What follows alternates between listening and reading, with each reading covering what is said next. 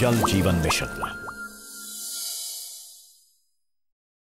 आज एक तरफ़, जहाँ ग्राम पंचायतों को ज़्यादा से ज़्यादा अधिकार दिए जा रहे हैं, दूसरी तरफ़, पारदर्शिता का भी पूरा ध्यान रखा जा रहा है। ग्राम स्वराज को लेकर, केंद्र सरकार की प्रतिबद्धता का एक बड़ा प्रमाण जल जीवन मिशन और पानी समितियाँ भी है। हर घर जल जल जीवन मिशन।